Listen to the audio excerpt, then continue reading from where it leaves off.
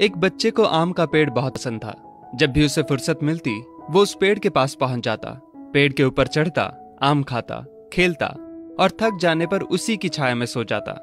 बच्चे और आम के पेड़ के बीच एक अनोखा रिश्ता बन गया। बच्चा जैसे जैसे बड़ा होता गया वैसे वैसे उसने पेड़ के पास आना कम कर दिया। कुछ समय बाद तो आना बिल्कुल ही बंद हो गया। आम का पेड़ उस बालक को याद करके अकेला रोता। एक दिन अचानक पेड़ ने उस बच्चे को अपनी तरफ़ आते देखा और पास आने पर कहा तू कहाँ चला गया था? मैं रोज तुम्हें याद क्या करता था? चलो, आज फिर से दोनों खेलते हैं। बच्चे ने आम के पेड़ से कहा, अब मेरी खेलने की उम्र नहीं है, मुझे पढ़ना है, लेकिन मेरे पास फ़ीस भरने के पैसे नहीं हैं। पेड़ ने कहा, तू मेरे आम लेकर बाज़ार में बेच दे, इससे जो पैसे मिलेंगे, उससे अपनी फ़ीस भर देना।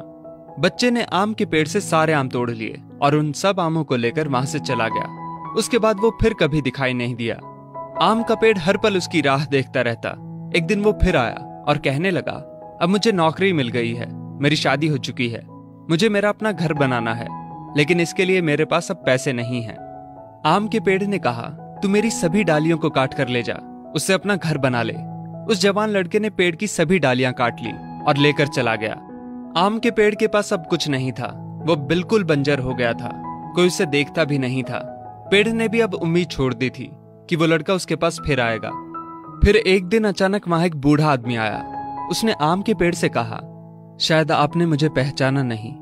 मैं वही बालक हूँ, जो बार बार आपके पास आता था, और आप हमेशा अपने टुकड़े काट कर मेरी मदद करते थे। आम के पेड़ ने दुख के साथ कहा, पर बेटा, मेरे पास अब ऐसा कुछ भी नहीं, जो मैं तुम्हें दे सकूँ।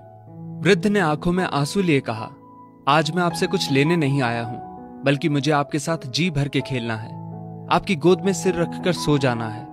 इतना कहकर वो आम के पेड़ से लिपट गया और आम के पेड़ की सूखी हुई डाली फिर से अंकुरित हो उठी। दोस्तों वो आम का पेड़ और कोई नहीं बल्कि हमारे माता पिता हैं। हम जब छोटे थे तो हमें उनके साथ खेलना अच्छा लगता था। लेकिन जैसे जैसे हम बड़े होते चले गए उनसे दूर होते गए। पास भी तब आए जब कोई ज़रूरत पड़ी या कोई समस्या आन खड़ी हुई। आज कई माँ बाप उस बंजर पेड़ की तरह अपने बच्चों की राह देख रहे हैं। जाकर उनसे लिपटें उनके गले लग जाएँ, फिर देखना वृद्ध अवस्था में उनका जीवन फिर से अंकुरित हो उठेगा। किसी कवि ने क्या खूब कहा है, बड़े बुज़ुर्गों की उंगलियों में कोई ताकत तो ना थी, मगर जब मेरा सिर झुका तो सिर पर रखे कांपते हाथों ने जमाने भर की दौलत दे दी। दोस्तों, इस वीडियो